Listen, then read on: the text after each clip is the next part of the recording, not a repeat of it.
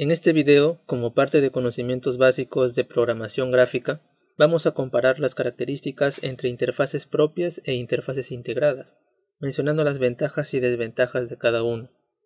Un objetivo básico a la hora de decidir entre usar una de estas dos interfaces es la facilidad de ingresar datos, mostrar una interfaz intuitiva que se explique por sí misma, que el usuario no se abrume con información innecesaria y desorganizada, y todo lo relacionado a la eficiencia de manipulación de los programas que creamos. Incluso para crear interfaces propias se deben tener en cuenta consideraciones claves para una correcta creación. Al final del video encontrarán un enlace respecto a recomendaciones de desarrollo de interfaces. Y como todos sabemos, PPL cuenta con seis interfaces integradas principales, que son Input, Choose, EditMat, EditList, MSGBox y Print, sin contar las variadas interfaces integradas de las aplicaciones que en su mayoría poseen vistas en Simp, Plot, Num y View. Entonces vamos a evaluar cualidades y capacidades. Para ello usaremos la siguiente tabla. Como primer punto tenemos se implementa con facilidad. Ya sabemos que es punto a favor de integrada, porque basta con escribir el comando y ya tenemos creada toda una estructura, una buena interfaz. Como algunos sabrán, implementar una interfaz propia requiere en muchos casos más que conocimientos básicos para crearlo, como manejo de gráficos, uso de white-1 o mouse y getkey también una buena estructura de menús o estructura principal del código. Siguiente punto. Fondos editables. Se menciona esto debido a los comandos choose y messagebox. Todos sabemos que estos comandos colocan como fondo a la última vista que usamos de la calculadora, por lo tanto el punto a favor será para interfaces propias, ya que esto se puede lograr con comandos de dibujo preferentemente. También con variables icon pero es desaconsejado usarlos y cuando trabajamos con aplicaciones es posible usar imágenes PNG y JPG. Siguiente punto. Colores personalizables.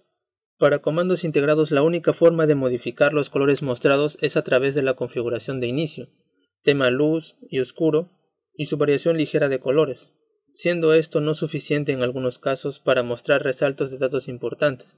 Esto es un punto a favor para propias, ya que podemos confeccionar interfaces de entrada casi similares, y los colores serán todos escogidos por nosotros. Escoger el color del texto, de la ayuda y cosas por el estilo. Esquema personalizable. Esto obviamente es punto para propias, ya que se refiere a modificar por completo la estructura visual. Eso no es completamente manejable con integradas. Animaciones y transiciones. En muchos casos es necesario usar estas características no por lujo, sino para ayudar a entender el funcionamiento del programa. De esto carece plenamente las interfaces integradas ver el estado de la calculadora como hora y batería en tiempo real. Esto con PPL es perjudicial implementarlo. Es muy importante ambos datos, pero para interfaces propias no se recomienda. Así que punto para integradas. Para propias debemos tener en cuenta que se deben crear interfaces que no acaparen un gran tiempo de ejecución. Destinar todo a la agilidad, rapidez y sencillez para evitar problemas con esto. En cuanto a comandos de entrada, el input principalmente, o también editmat y editlist, nos permiten aprovechar muchas características de la calculadora, tales como usar las variables por referencia. Esta es una ventaja de integradas. Se necesita solo colocar la variable dentro del comando y éste lo usará y asignará el nuevo valor si es que se confirma el ingreso. Diferentes para propias, que se debe colocar específicamente la variable o lista de datos con su subíndice para editar algo necesitando una función propia para cada grupo de datos. Esto podría solucionarse con ayuda del comando expresión usando las variables en forma de cadena. Se puede usar todas las características del teclado. Este es un punto para integradas, ya que obviamente nos permite usar naturalmente el Shift, el Alpha, el teclado de usuario si es que lo activamos, todas las funciones que tenemos por aquí, la potencia, la raíz, funciones trigonométricas, el ANS y prácticamente toda la calculadora. Puede acceder a todas las variables y funciones de la calculadora. Quizás esto no es tan útil, pero un comando integrado lo permite con mucha facilidad. Muestra método de entrada en formato de libro de texto o el formato que es configurado en inicio. Si necesitamos ingresar expresiones largas llega a ser muy útil, puesto que programar algo similar puede ser muy complejo. Permite copiar y pegar datos. Por ahora esta es una característica exclusiva de interfaz integrada, puesto que no hay manera de acceder al portapapeles de la calculadora hasta el momento.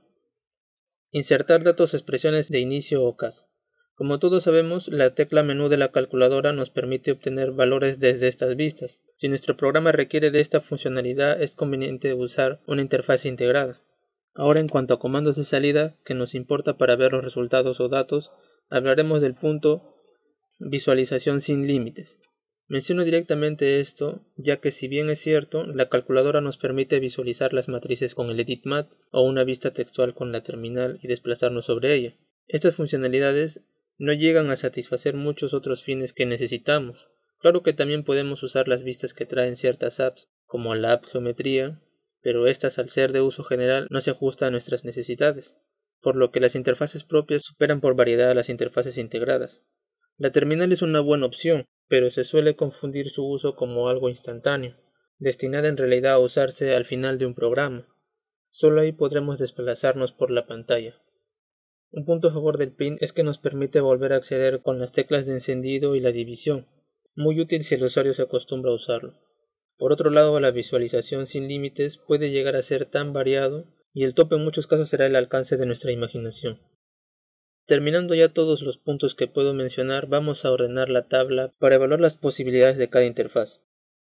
En conclusión, podemos observar de la tabla que las interfaces integradas nos dan facilidades y muchas características respecto a interfaces de tipo entrada de datos. Así que si estás pensando que las interfaces propias siempre serán superiores, puedes no estar tan en lo cierto. Por otro lado, las interfaces propias poseen variedad y personalización, así que confirmaremos que tanto interfaces propias como integradas son útiles y recomendables. Por otro lado, se puede recodificar un input, que posiblemente disponga de casi todas las cualidades mencionadas en la tabla, pero esto no sería para nada eficiente. Haría nuestro código aún más largo y eso llega a ser algo innecesario desde diferentes puntos de vista. Resaltaremos como recomendación lo siguiente. Hay que reconocer cuándo es que el esquema de nuestro programa debe ser reestructurado, por el bien del usuario y la limitación de los recursos de la calculadora. Si necesitas conocer todas las formas de ingresar los parámetros de input, al final podrás encontrar un enlace sobre el uso completo del comando. Veamos ahora algunos ejemplos de lo mencionado. Caso 1. Cuando la estructura principal es una interfaz propia y la interfaz integrada es usada para el ingreso de datos o como opción alternativa. Primero TD, que posee su esquema principal con interfaces propias. Usa el input en modo de ingreso de cadenas para recibir los nombres de perfiles.